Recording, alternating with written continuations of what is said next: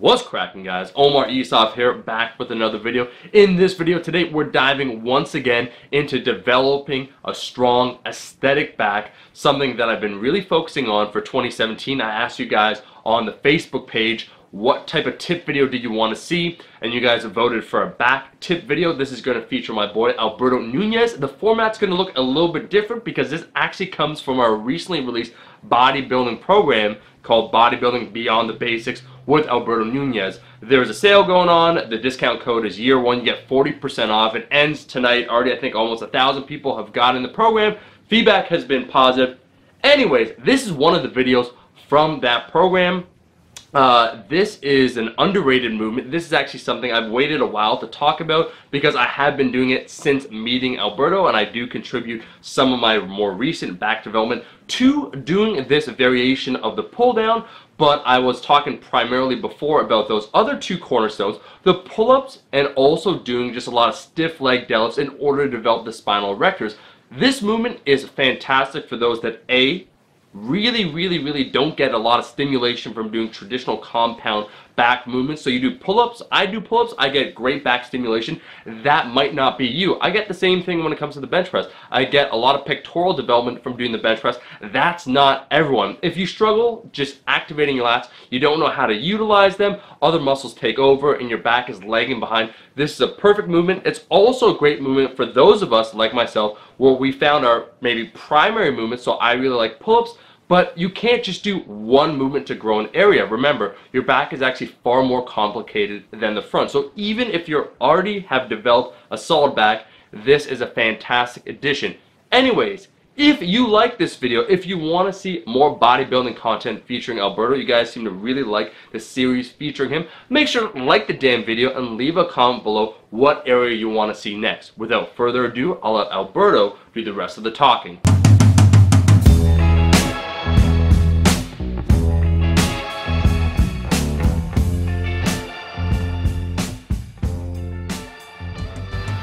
All right, so the vertical pull of choice today is going to be the single arm pull down. And the reason we're going to go with this is because most people will find their lats right away when it comes to this one. Um, typically, the way most people do a pull down, it's going to be dual arm. And the most common bar is going to be uh, a straight bar, right? The issue with this is that it's harder to control your shoulders, okay? It, which leads to a harder time leading with your back. Um, there's also an underhand variation, but the issue with the underhand variation is that sometimes the biceps tend to take over, which is an issue with just about any rowing or pulling movement, all right? However, from a neutral position, you get the best of both worlds. You're able to lead with your lats a bit easier, and then also because you're a little bit more tucked in, you have slightly better control over your shoulders, which again will lead to better contractions uh, through the targeted muscle groups, which in this case is going to be primarily your lats. You will get some help from the mid back, upper back. However, this is primarily a lat movement with some aid from the biceps.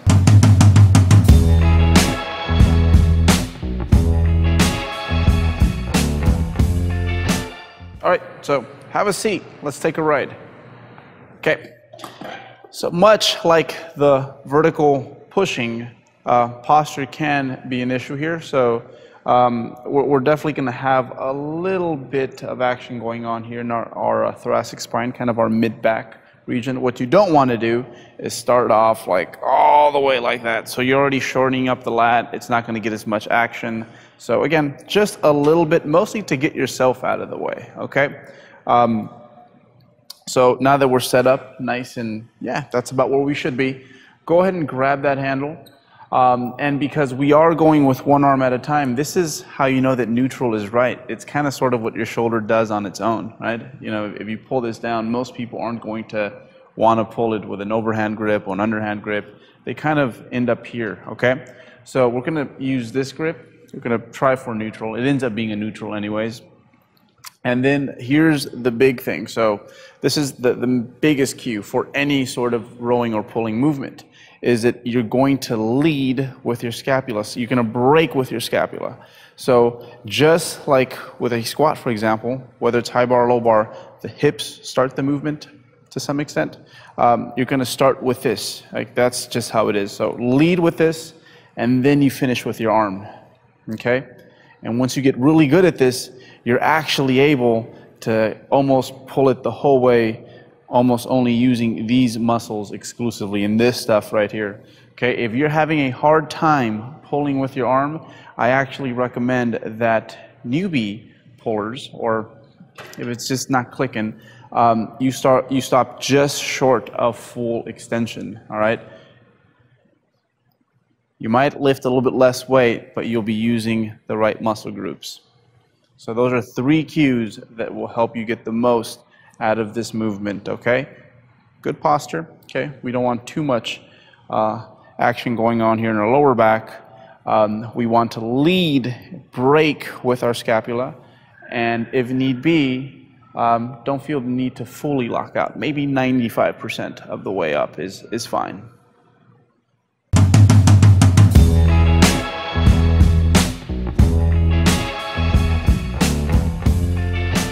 This is what you don't want to do. Uh, so let's start off with that basically turning a vertical uh, pull into a horizontal pull, all right? So we've seen this before. Dude's using way too much weight, okay? So not only is he starting at a poor angle, it gets worse as he goes, okay? So that's, that's the first one. Uh, the second one is going to be breaking with everything but this. So starting with the arm, all right? And then finally, and this is where you will really confirm that it is your lat actually pulling, is the eccentric, minding the eccentric. There is work for you during the eccentric portion of the lift. There is stimulus there. Like, don't, don't let that go. Like, literally, don't let it go. Um, you should, on the eccentric, feel the lat tugging. Uh, and that's where you do build up a lot of your connection because you are so much stronger in the eccentric. You're actually able to stop and smell the roses, feel the contraction. So mind that eccentric. Don't just let it run away from you.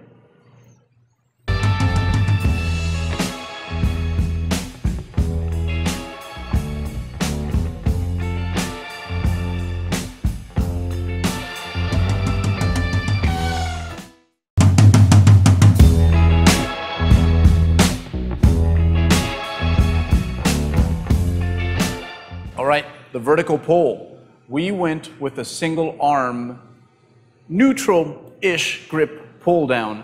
And I love this movement, um, first because it allows people to go overhead uh, in a, slightly more comfortable manner. One of the reasons why we're, we're doing overhead work single with, with one hand at a time if, if we can.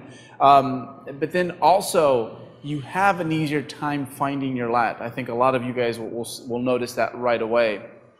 But let's just say it's not working for you.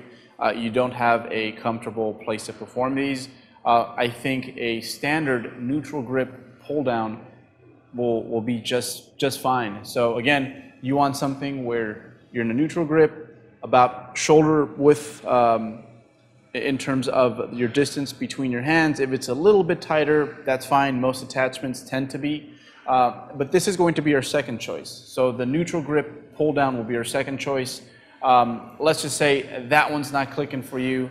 I would then say it's okay to go with either a underhand grip on a straight bar, again about shoulder width, or an overhand, the most commonly used um, vertical pull down variation. Either one of those will do so long as you apply the cues that we went over for the single arm pull down. Lead with the scapula, and, and again, mind the eccentric, and, and all, that, all that good stuff in terms of torso positioning we went over. So again, single arm pull down, if for some reason that one just doesn't work for you, I would go with a neutral grip dual arm pull down, or you can just use an underhand grip an overhand grip on a straight bar, but just make sure that you're at about shoulder width or perhaps um, a little bit wider, but shoulder width is where I would recommend you start and then from there expand. But either one of those variations work just fine so long as you remember the cues we went over. Well guys, that is all the time we have. My thanks to Alberto for doing this video. If you like the video, I'm looking right at you. Like the damn video and let us know what you want to see next from Alberto. He also gave a couple alternatives at the end you saw there, just because once again, like powerlifting, it's not quite a one-size-fits-all approach. This is a fantastic exercise, guaranteed for most of you to really help out. But if you're still struggling, try one of those variations and let us know how it goes for you. And then lastly, like I said before, that Kizen bodybuilding program, bodybuilding beyond the basics. It's a full in-depth program. I think it's almost 100 pages. There's six different programs actually come with it, over a dozen in-depth tutorial videos, uh, full program overview. The whole damn thing, if you've been wanting a size, a pure size, a bodybuilding program, this is the program for you. Discount code year one, 40% off. Sale ends tonight at midnight. That's all the time we have. I'll be seeing all you guys, my rascals, in that next video. Peace. Eat your vegetables, eat your vegetables, eat your fucking vegetables.